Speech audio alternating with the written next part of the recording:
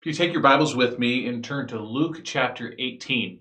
Luke chapter 18. I'll pull your Bible out. Uh, there's a message outline we sent out via email. It's also on the website and in the YouTube link. And so I encourage you to have your Bible, especially, and then that message outline ready. And by the way, you know, some of you are relinquishing the right of the remote this week. And some of us will be gathering in person for our many worship services. But for those of you who are listening online and watching online, you still have the right of the remote, right? So you can just click me off, click. I hope you don't do that. Um, I won't know. But uh, with our folks meeting in person on Sunday, I will know, and I'll just keep going even if you bring uh, folks bring those remotes. But here we are in Luke chapter 18 we're at the end of the longest section of the Gospel of Luke, uh, finishing up the journey from Galilee to Jerusalem. And next week, we begin really a shorter section of the record of Jesus' time in Jerusalem in the midst of increasing rejection. But this week, we have this wonderful, this great section. It's really the highlight of the whole book, apart from the death and resurrection of Jesus. And it's the keynote of the gospel, it's where our key verse resides. And Jesus teaches and teaches and teaches and teaches over and over and over again. Salvation is available to all. It's a free gift.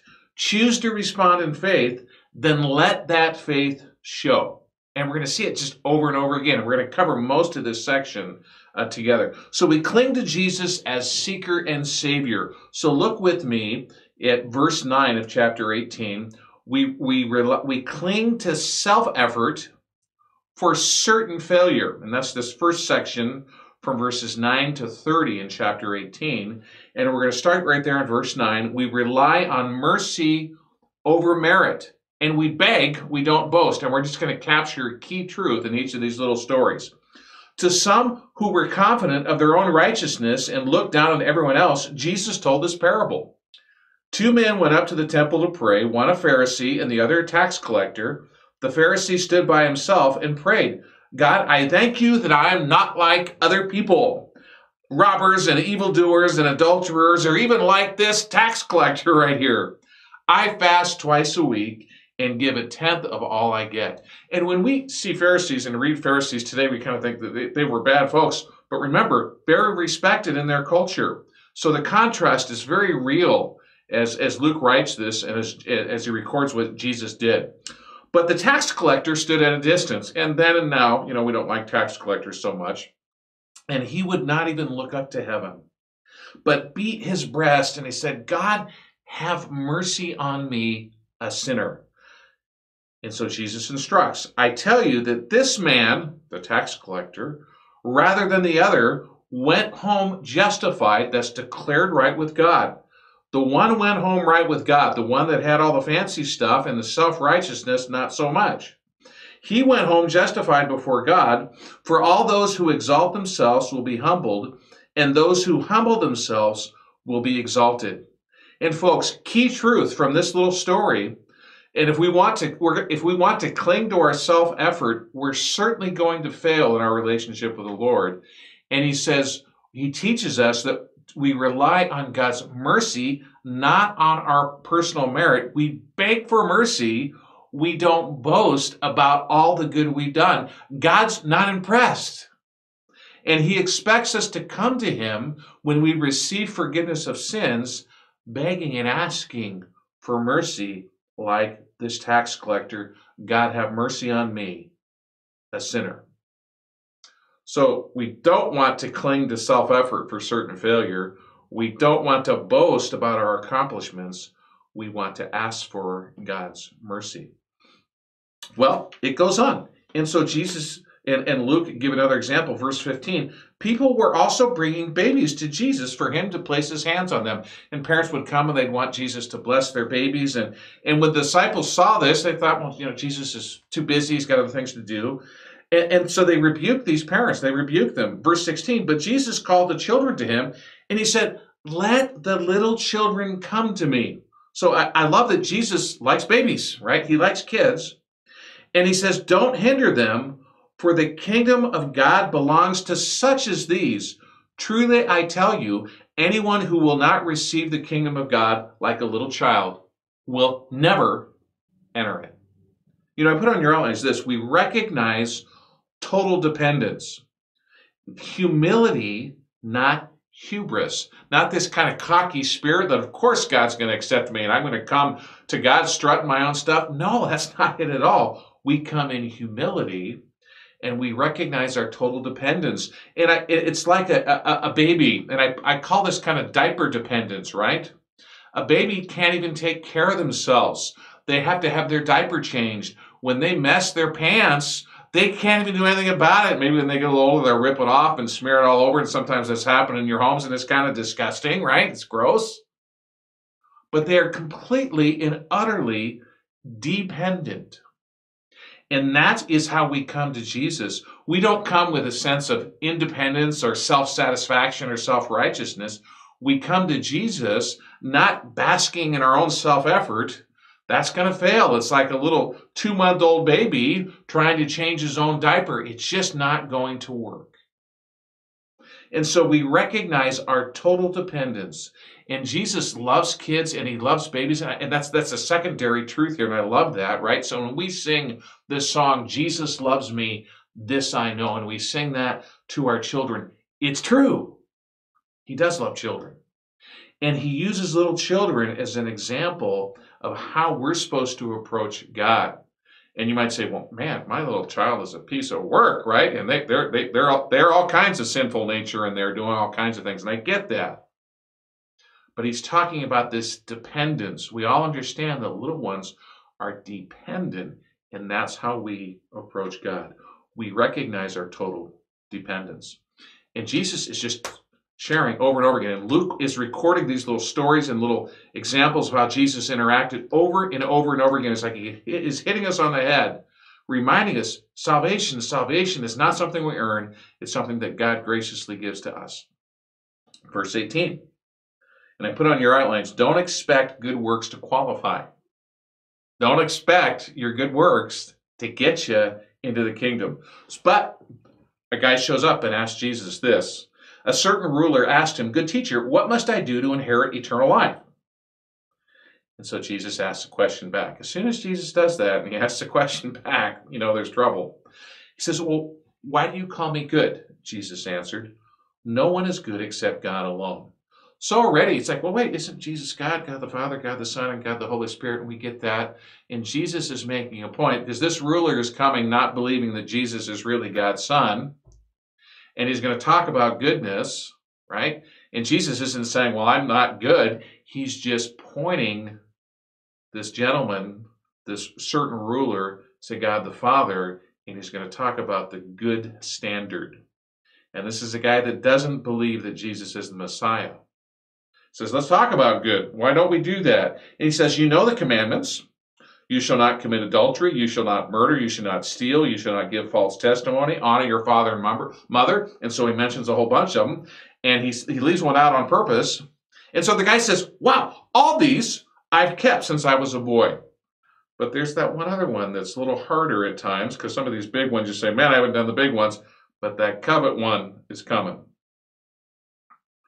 And so Jesus responds again because the guy says, I've done all that. When Jesus heard this, he said to him, You still lack one thing. And there's one commandment that he'd messed up on is that covetous spirit. Sell everything you have, give it to the poor, and you will have treasure in heaven. Then come, follow me. And when he heard this, he became very sad because he was very wealthy. So is Jesus saying, okay, if you fulfill this commandment and this commandment and this, and you did all those, but oh, if you if you happen to do this one and you're not a covetous person, then you'll be in, you'll be good. No, Jesus is applying that standard of goodness, the personal good works, to this ruler. He says, okay, if you want to approach God based on your own merits in something that you earn, then let's cover the one that you don't meet. And all of us have some of our lists. We'll say, man, I got that one, I got that one, I got that one, I get that one. And then Jesus says, ah, but you don't have this one. And I put on your outlines this, and this, this because he's going to talk about this uh, interaction, we admit our perfection standard failure. We don't meet God's perfect standard, just like this ruler. And Jesus wasn't adding another requirement for salvation, but he was following this guy's requirement. Okay, if you want to do it by good works, let's find out how you don't make it. And Jesus' teaching is that no matter how good we are, there's going to be something we fail in, and we don't cut it. We're not going to make it. Don't expect our good works to qualify us for God's kingdom. And so we admit that if the standard is perfection, then we fail. Jesus looked at him, verse 24, and he said, How hard it is for the rich to enter the kingdom of God. And if you're out there and you're saying, Well, man, I've got quite a bit of money in the bank, um, I'm in trouble. Well, let's just look and see what he says. He says, Indeed, it is easier for a camel to go through the eye of a needle than for someone who is rich to enter the kingdom of God. Oh, you know, camel's never fitting through the eye of a needle. It's like a proverbial staying. So it must be impossible. And it's this idea of extremely difficult. And so Jesus is catching something that's quite true with this guy who happened to be wealthy. And we, we, we don't expect our good works to qualify us, but we notice that worldly success here, and in this case, wealth, or worldly status and success and fame and accomplishment and, and satisfaction with all the things I've got, obscures obscures or hinders salvation and satisfaction. He says it's easier for a camel to go through the eye of a needle than for someone who is rich to enter the kingdom of God. Then those who heard uh, who heard this asked, "Well, who then can be saved?" Right? And Jesus replied, "What is impossible with man is possible with God." And Peter said, "Well, we've left all we had to follow you." And truly I tell you, Jesus said to them, no one who has left home or wife or brothers or sisters or parents or children for the sake of the kingdom of God will fail to receive many times as much in this age, that's in the physical life, and in the age to come, that's eternal life. So Jesus is catching a powerful truth that none of us make the perfection standard, that our worldly success tends to obscure not only salvation, and we catch that because we are become more and more self-reliant, and who needs God anyways? I, I don't need him to do anything for me. I've got it together. And, and, and we, we think we have it and we don't really worry about things.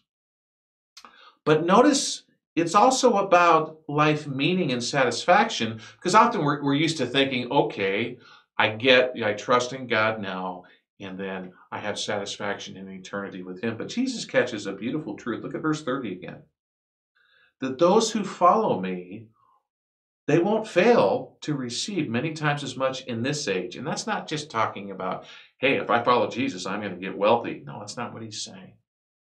But if you want to be satisfied, true satisfaction now and in the age to come, you follow Jesus and you don't rely on your own personal success. You don't rely on your good works, but you receive forgiveness in Christ as a free gift. And then Jesus offers salvation for eternal life, satisfaction now and in the next life.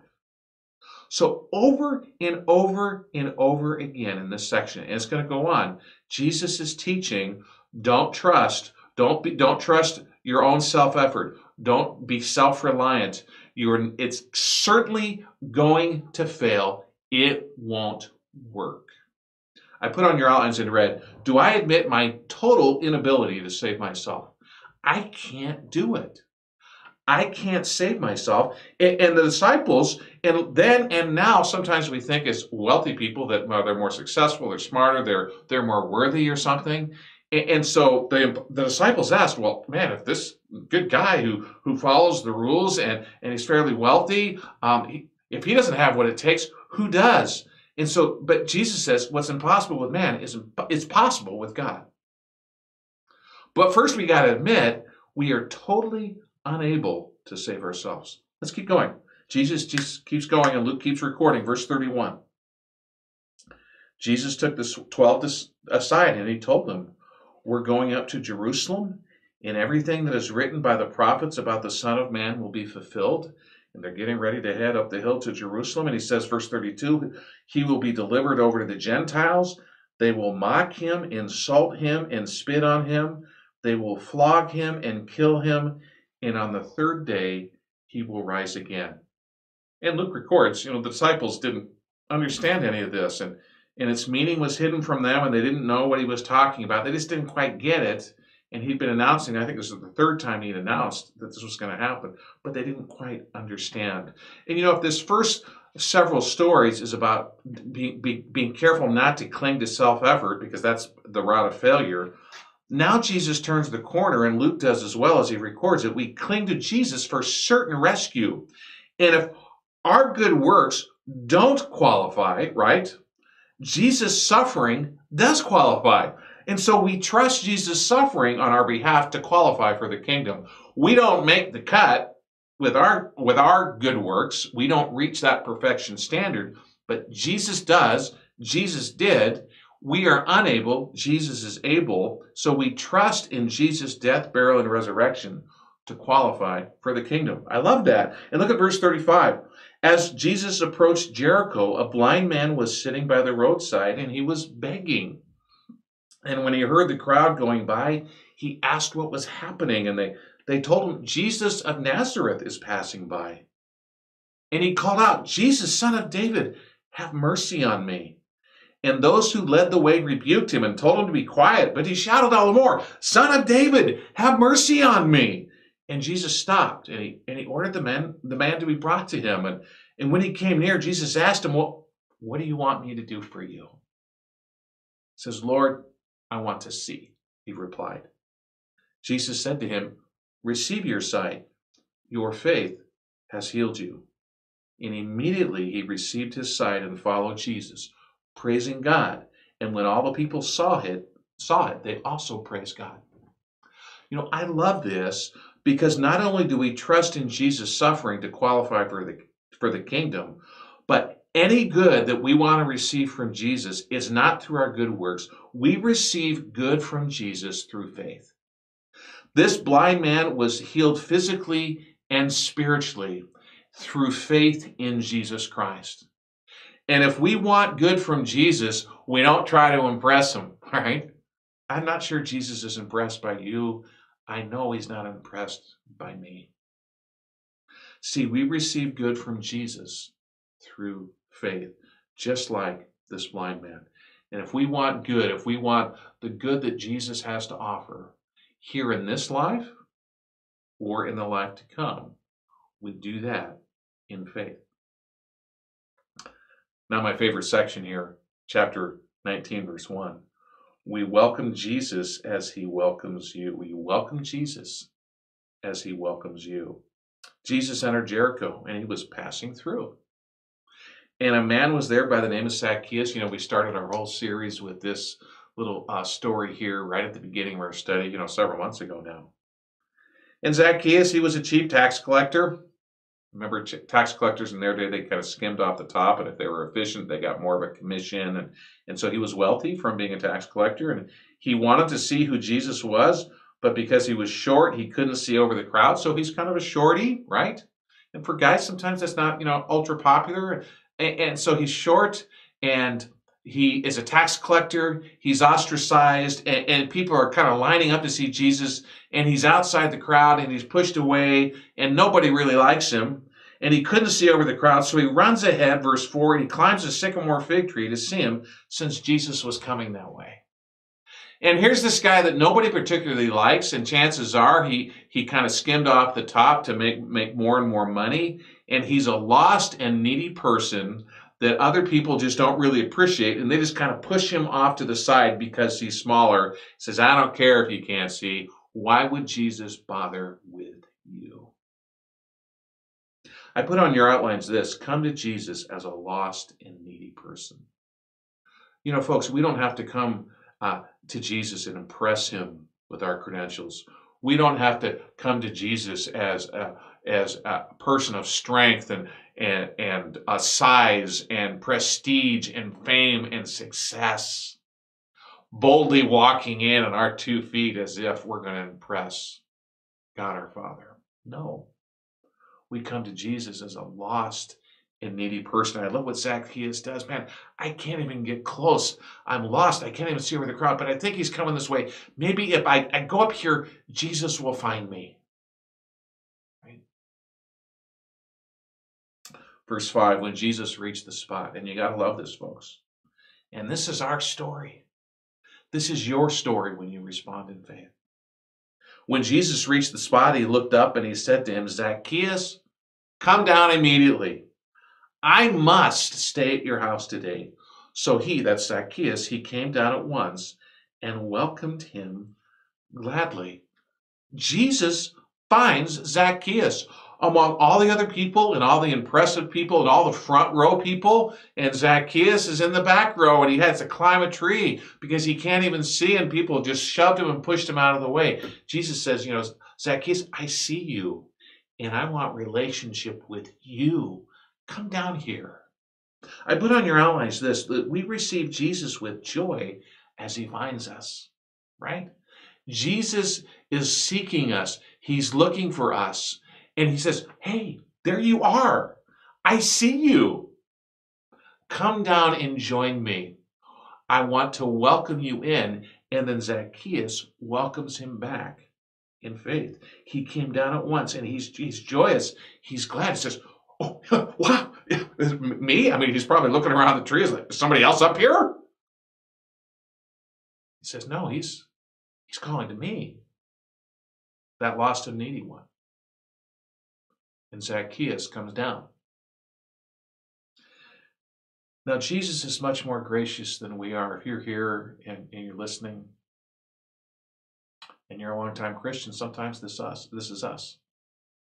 And we think, well, Zacchaeus or whatever the Zacchaeus person is in your life, you fill in the blank that that person that's not worthy, that person that's annoying, that person could never respond to the gospel, the one that God should overlook. And a lot of times Christians are much less gracious than, than God is. And we see that with God's people here. All the people saw this and they began to mutter, He's gone to the, be the guest of a sinner. Why in the world would Jesus associate with Zacchaeus? But Zacchaeus stood up and he said to the Lord, Look, Lord, here, now, here and now, I give half of my possessions to the poor. And if I've cheated anybody out of anything, he might have, right? I will pay back four times the amount. And so Jesus declares, Today, salvation has come to this house because this man too is a son of Abraham. For the Son of Man, and here's that beautiful verse that summarizes the whole Gospel of Luke. For the Son of Man, that's Jesus, came to seek and to save the lost. I put on your outlines this we show our faith in Jesus and we show our fellowship with Jesus, right? Zacchaeus responds. He says, Yes, Jesus. And he invites him, and Jesus welcomes Zacchaeus, and Zacchaeus welcomes him back. And, and, and now there's this fellowship in, in, in Zacchaeus' home. And we show our faith and fellowship with Jesus through repentance. And there's this active repentance and change. And Zacchaeus is changed. And you notice that he was a wealthy guy too. The other wealthy guy left right? And didn't really respond to Jesus. Here's this guy that responds. So it is possible. Everything is possible with God. And he responds in faith. He communes, he fellowships with Jesus, and it changes him. And he's like, hey, I got to give everything half away. And if I've cheated anybody, I'm going to I'm to give back four times the amount. And so Jesus is able to declare, yes, Salvation has come to this lost and needy, despised and rejected person. How about you and me? Do I accept Jesus' desire and ability to save me? See, the bad news of the gospel is that we got to accept that we are totally unable to save ourselves. But the good news of the gospel is Jesus desires to find us. He's looking up in that tree. He says, Hey, come down. Come down. And he is able to save us. What we can't do, Jesus does for us through the death, burial, and resurrection for forgiveness of sins. There's a little song that sometimes we sing with our children, and I even sang it when I was a kid, so it's been around a while. You know, Zacchaeus was a wee little man. Remember that song? Wee little man was he. He climbed up in a sycamore tree. For the Lord he's going to see. And as the Savior passed that way, he looked up in the tree. And he said, Zacchaeus, you come down. We often put please. For I'm going to your house today. For I'm going to your house today.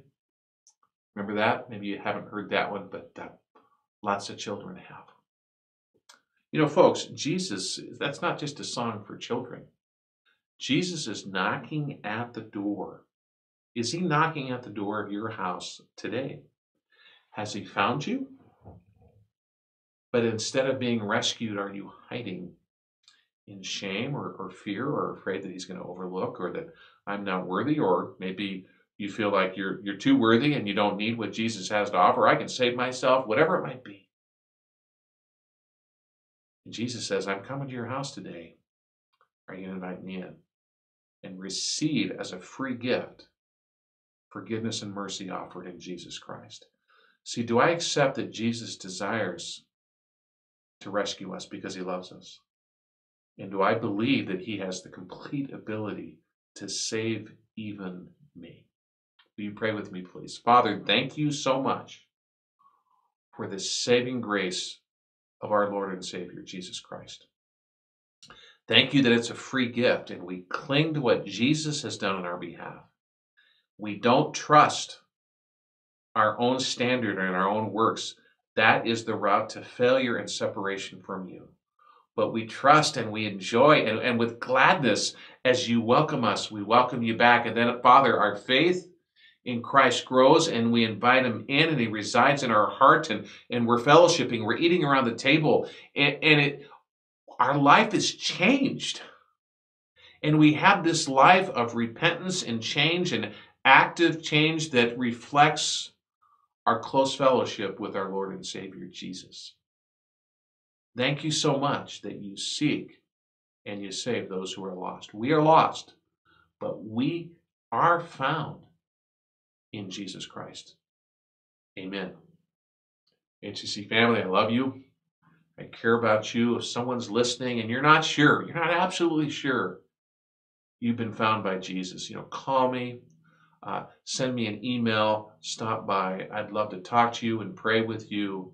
Um, there's others in our church that would be happy to connect with you just to affirm God's great love for you and his desire, his deep desire to find you and to save you and be in close relationship with you. God bless you.